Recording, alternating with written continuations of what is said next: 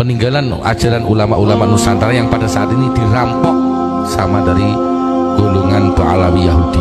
Termasuk kalau di Jawa Tengah kemarin sudah saya sampaikan ada bisnis solawat yang marak sekali dengan modus apa namanya harga sekian dan sekian.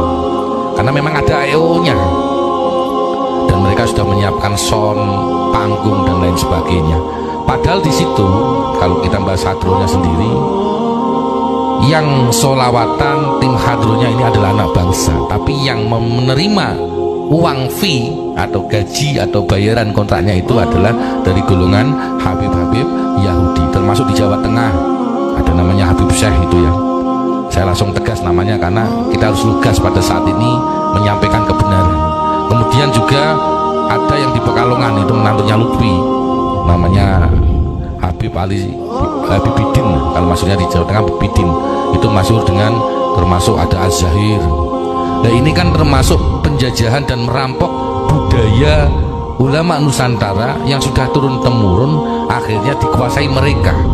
Tanpa sadar kiai-kiai sudah dikelabui ditipu dengan politik salju. Kalau bahasa psikologinya itu love bombing halus dengan rayuan yang manis